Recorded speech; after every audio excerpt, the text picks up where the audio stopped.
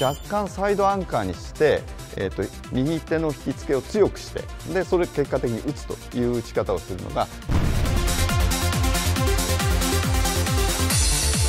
この平常心で打つっていうのはなかなか難しくてですねどうしてもですね狙っているうちに迷ったりとかですね最初の方の矢を外してしまったりすると後の矢に影響してしまったりってそういうことがどうしてもあります。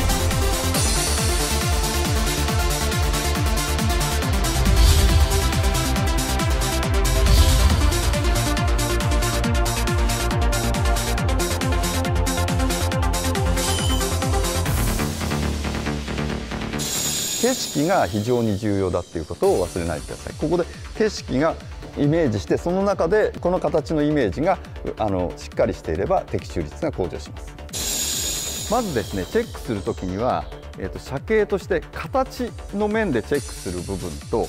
動きという部分でチェックすることがあります。この矢のラインの真後ろに肘がある。これが理想の状態です。